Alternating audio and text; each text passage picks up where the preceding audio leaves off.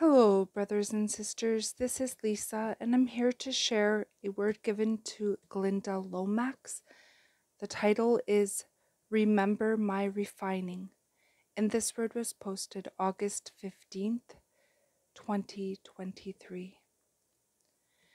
My children, as you walk into this time of judgments, know that I walk with you in every situation Strive to do what is right according to my holy word.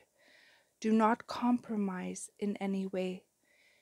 In trying situations, remember my refining fire and respond accordingly so you may be called home to me more quickly.